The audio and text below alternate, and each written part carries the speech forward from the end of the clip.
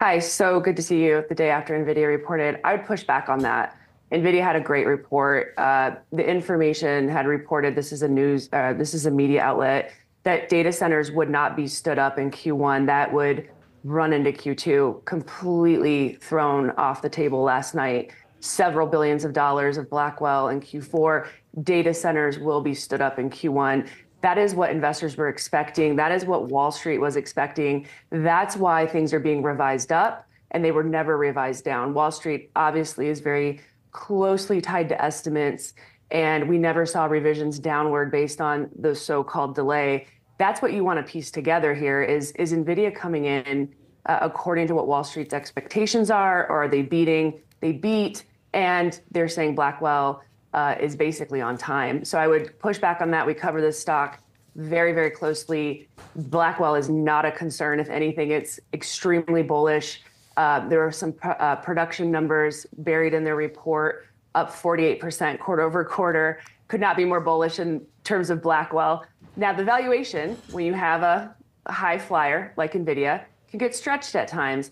Going into the print, we warned our members that you know, this valuation is looking a little toppy. Uh, what we need is for the fiscal year estimates next year to go up. So we're in a waiting game for analysts to revise their estimates upward, which eventually they will. But until then, the valuation is stretched. Okay, so if the valuation is stretched, then where does that put them on the pathway towards reaching some of the targets that you've set forth? You, ha- you have some of the kind of loftier long term expectations on a market cap front for NVIDIA. I believe we were talking about $10 trillion last time you came on. And so for NVIDIA to really hit that in stride over years, what do you see as the pathway towards growth into that? The pathway to growth is to pay very close attention to NVIDIA around the fiscal year guide. That is always NVIDIA's big moment, number one. Number two, the second biggest year uh, moment of the year for NVIDIA will be when Blackwell is shipping in volume. Uh, this will be your Q2 report, but we'll get some signs in Q1 with that forward guide.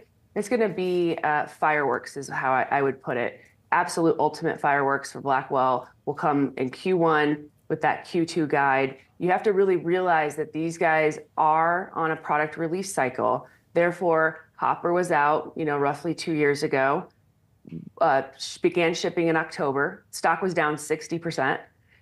The following Q1 and Q2 report in 2023 were blowouts. So you have to understand that there's a shipping cycle that occurs for this company. Media, uh, some media outlets have blown that out of proportion. It's absolutely on time early next year will be fireworks again for NVIDIA, and we will be on track for that 10 trillion. But Beth, even outside of Blackwell and whenever those chips do get uh, delivered, what about some of these hyperscalers when they feel like they have enough, right? When, when they stop spending as aggressively on these chips, what happens then to NVIDIA? And when do you expect a deceleration in growth? Because that seems to be more of a story on Wall Street right now. That's a great question. They were asked that last night and they answered quite succinctly. And I'll try to summarize it for you because it was a little lengthy in terms of the answer. And I also do know the answer, which is that um, they're in a race toward preventing extinction uh, between these big tech companies. At, you have to understand that whoever gets there first could completely dominate to a level that the others would decline on their business quite substantially. Uh, so this is a matter of survival. This is not a matter of uh, you know some cute little applications that consumers might use. One of the most important comments that was said last night to help understand this, why big tech is spending so much, is they said most of the GPU capacity is going toward their own applications. There's not a lot available for enterprises and startups right now, which means they're hogging it, they're hoarding it.